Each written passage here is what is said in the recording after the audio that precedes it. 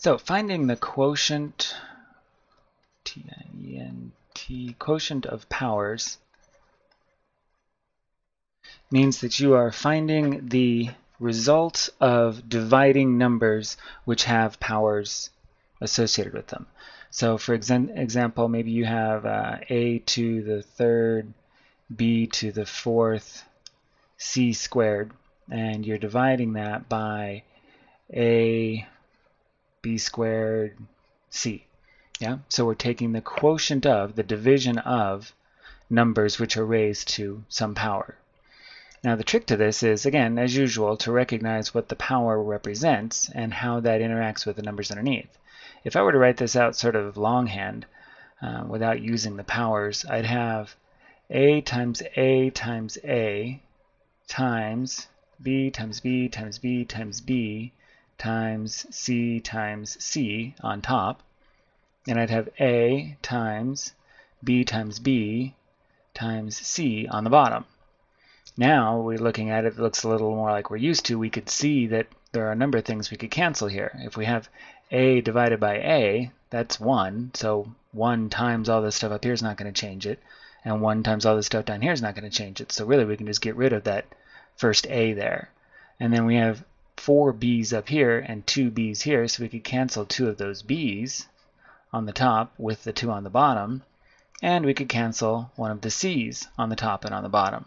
So then all we're left with is a times a times b times b times c on top, and there's nothing left on the bottom, just, just a 1, which doesn't mean anything to us. And if we were to write that back in shorthand again, we'd end up with a squared times b squared times c. Now, that's the longhand way of working it out. The shorthand way is just compare what we have to what we started with here. a to the second power, well, that would be the same as 3 times, or 3 minus 1, because anything to the first power, we don't bother writing the power, so that would be, that this here is a to the first. If we were to subtract 3 minus 1, we'd get 2. If we were to subtract 4 minus 2, we'd get 2 again, which was our power for b. And if we were to subtract 2 minus 1, we'd get 1, which was the power we had for c. So when you're dividing powers, when you're dividing numbers that are raised to exponents, as long as the number itself is the same, you just subtract the exponents. Because what you're really doing is sort of removing matching pairs like we did here. Every time you subtract top and bottom, you're removing one of those matching pairs and just leaving what's left.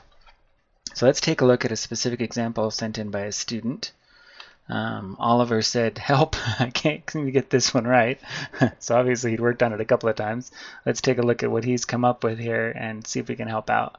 So he started off with 6 squared, x to the 7th, y to the 3rd, over 3 squared, x to the ninth to the 3rd, y squared. Well, the first thing I'm going to do is uh, sort of straighten this out on the bottom here. Remember, if we have a power raised to a power, we multiply.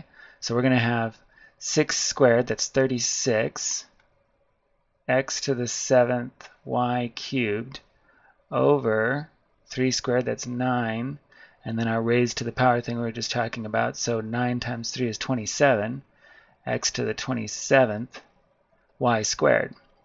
Now I could write all these out. I could x times x times x times x seven times and y three more times, but all I'm going to do here is sort of mentally cancel out the ones that match.